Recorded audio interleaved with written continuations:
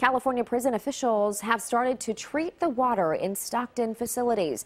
This is after the water tested positive for the bacteria that causes Legionnaire's disease.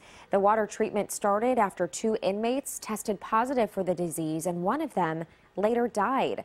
The affected facilities are using bottled water while the testing is being done.